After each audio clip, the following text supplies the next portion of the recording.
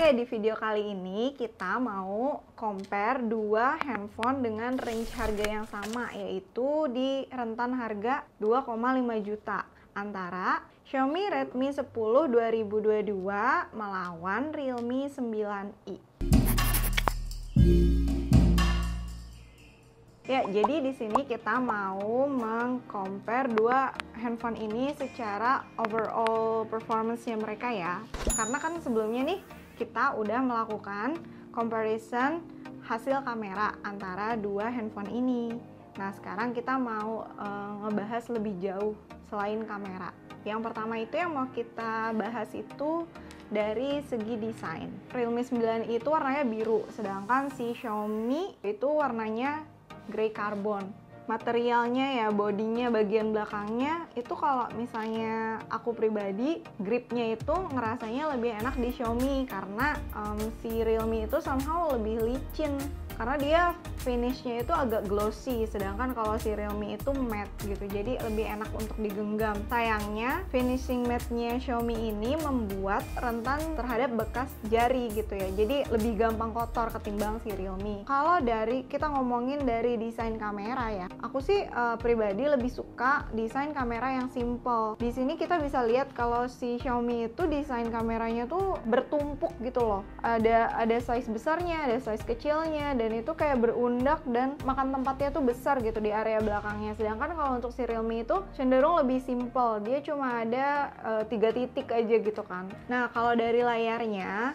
Si Xiaomi ini dibekali layar dengan ukuran 6,5 inch sedangkan si Realme itu sedikit lebih besar di 6,6 inch. Nah, untuk layarnya sendiri dua-duanya belum disematkan layar AMOLED ya. Jadi kepuasan kita melihat layar ya standar-standar aja, nggak seperti layar AMOLED. Dua-duanya itu dibekali oleh refresh rate yang sudah sampai 90 Hz. Nah, sayangnya pas kita coba tes refresh rate di kedua handphone ini, kita pakai Google Chrome, si Realme itu somehow hasil refresh rate-nya itu walaupun kita sudah setting di 90 Hz dia nggak nyampe 90 Hz cuma sekitar 58 Hz sedangkan kalau si Xiaomi itu lebih mendekati dia di 80 something Hz gitu.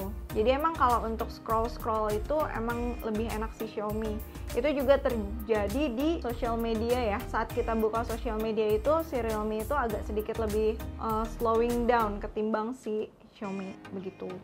Nah, sedangkan kalau dari sisi kecerahan untuk uh, setting yang sama gitu, setting tingkat kecerahan yang sama um, terlihat kalau si Realme itu lebih cerah ketimbang si Xiaomi. Kalau si Xiaomi itu dibekali oleh Corning Gorilla Glass 3 sedangkan si Realme itu dibekali oleh Dragon Trail Pro Glass. Iya, jadi dia itu dua-duanya mereknya berbeda kita nggak cobain sih mana yang lebih mana yang lebih bagus gitu layarnya karena dua-duanya paling aman emang dipasang tempered glass gitu. Sistem operasi si Xiaomi ini pakai MIUI 12.5.13 sedangkan si Realme 9i menggunakan Realme UI 2 hmm, aku pribadi pas mencoba menggunakan hand, kedua handphone itu untuk bersosial media, balas-balas chat dan segalanya untuk sistem operasinya aku lebih suka Xiaomi di sini ketimbang Realme.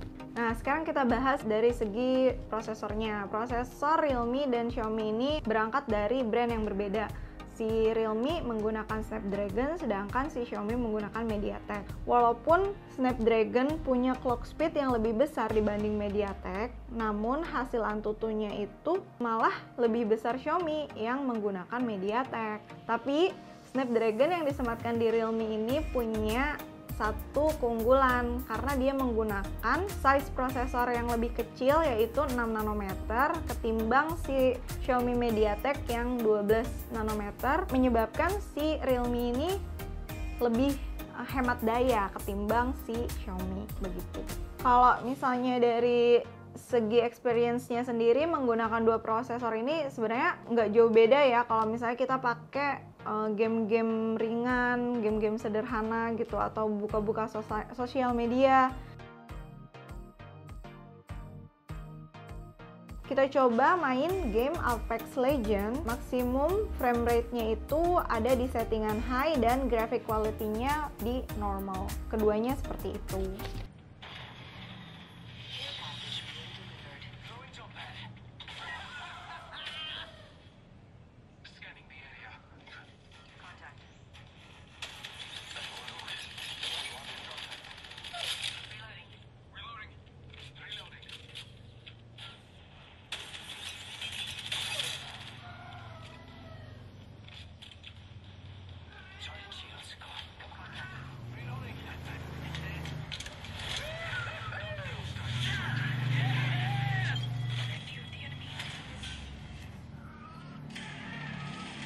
Yang membedakan antara si Realme sama Xiaomi ini di area storage-nya yang agak um, sedikit jauh ya berbedanya.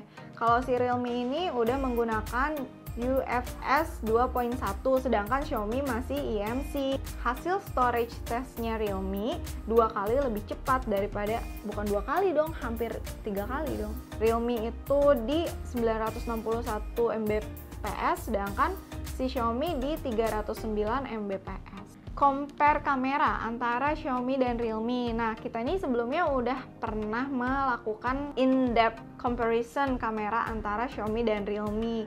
Di situ aku overall pilih Realme ketimbang Xiaomi. Kenapa? Karena yang pertama, untuk kamera belakangnya Realme itu cenderung lebih banyak menghasilkan foto yang lebih fokus ketimbang Xiaomi dan warnanya yang uh, lebih colorful. Tapi untuk kalian yang lebih suka edit-edit foto sendiri, menurut aku sih Xiaomi bisa menjadi pilihan yang tepat karena Xiaomi cenderung menghasilkan warna yang lebih pale sehingga untuk melakukan koreksi warna itu lebih mudah. Tapi kalau untuk di kamera selfie si Realme ini dibekali kamera 16 megapiksel sedangkan si Xiaomi itu hanya 8 megapiksel.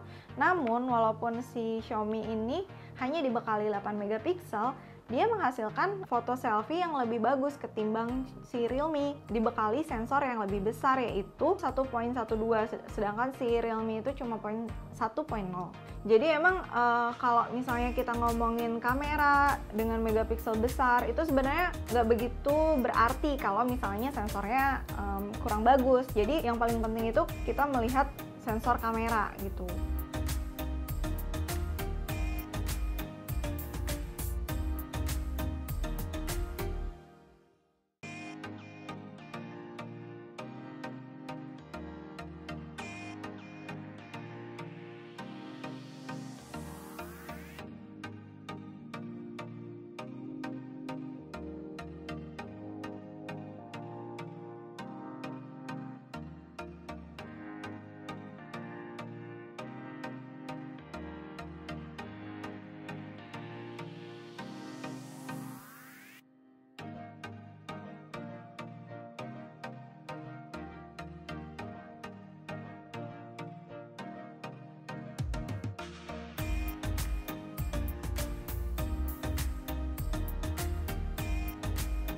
Um, jadi kita mencoba uh, melakukan WiFi speed test di kedua handphone ini.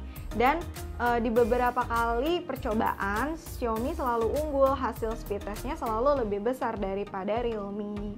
Nah kalau untuk baterai dari kedua handphone ini mereka itu sama-sama dibekali 5000 mAh. Jadi untuk ketahanan baterainya itu cenderung setara ya. Tapi si Realme ini punya kelebihan karena dia menggunakan prosesor yang lebih kecil yaitu 6 nanometer tadi cenderung lebih hemat gitu. Nah, Realme juga dibekali fast charging hingga 33 watt dan adaptor chargernya itu di-include di dalam paket penjualan 33 watt. Nah, kita coba dari 0% hingga 100% itu sekitar 70 menit. Sedangkan kalau si Realme itu hanya dibekali 8 11 watt fast charging seperti itu. Nah, di harga yang sama, Xiaomi itu bisa dapat RAM 6GB dan memori internal 128. Sedangkan kalau Realme itu hanya di RAM 4GB dan memori 64GB. Nah, kalau aku punya uang dua setengah memilih antara Realme dan Xiaomi, hmm, bingung ya. 6128 atau 464 aku pilih 464 sih karena hasil kameranya. Aku akan akan lebih cenderung ke hasil kamera sih. Tapi storage kamu kecil. Storage aku kecil aku bisa pakai external storage. Nah kalau dari segi memori sih kita mm, nggak mm, usah khawatir karena si Realme ini mensupport um, tambahan memori eksternal gitu. Nah kalau itu kan tadi pilihan aku, kalau pilihan kalian apa? Silahkan komen di bawah ya.